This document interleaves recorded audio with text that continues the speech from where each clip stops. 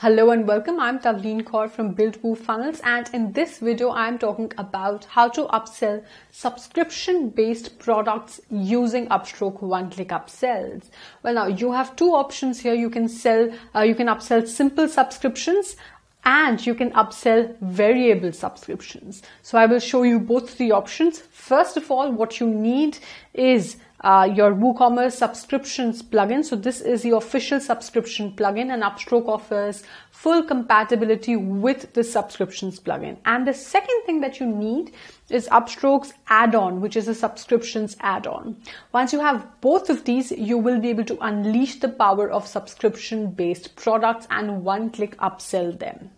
So as you can notice, this is a subscription based product and it is actually a variable subscription. So we've got uh, three variants to it, right? Uh, the first, and you can set up everything here, all the details regarding the subscription of this product. So these are three variants of this product and you can simply uh, sort of expand this and set up everything like the sign up fee, the free trial if you have, the subscription price, and the frequency of renewal, whether you want to, whether it's a weekly renewable renewal or a monthly or a yearly renewal. So you can set this up here and you can set the price here, the expiration date, uh, you know, so all the details related to expiry, so on and so forth. If you're offering a discount, then the sale price and all of that. Now, this is going to be really useful to you. Uh, for example, let's say you're selling an information product and when they buy the basic variant, uh, they get the, the membership to the accountability group, right? Where they can post questions, get their answers, so on and so forth. But when they buy, let's say the mid variant,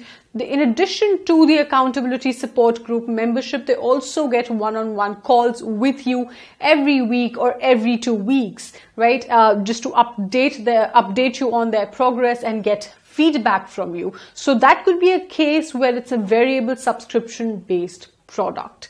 Uh, now let us see what you have to do in Upstroke. All right, now this is a variable product, but this is not a variable subscription. So as you'll notice, uh, there is no option, there's no mention about subscriptions here. But let's just delete this product.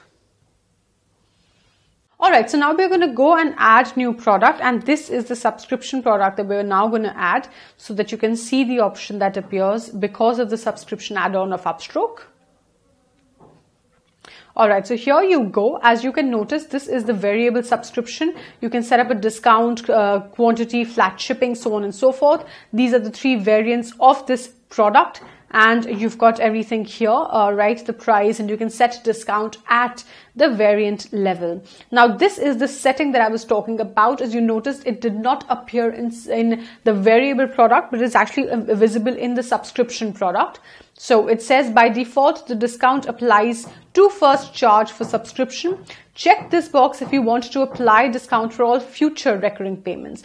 Well, so just as this line says, if you want that the discount should be applicable on future rec- on uh, on all future recurring payments, then you must check this box. Then they will be able to renew their subscriptions at a discount.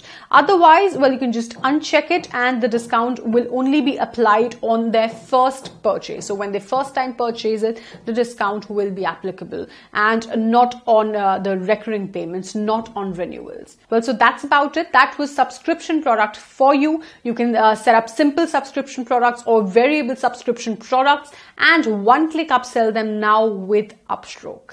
I really hope that you enjoyed the video. If you have any questions, do leave them in the comments below. I will be more than happy to take them up for you.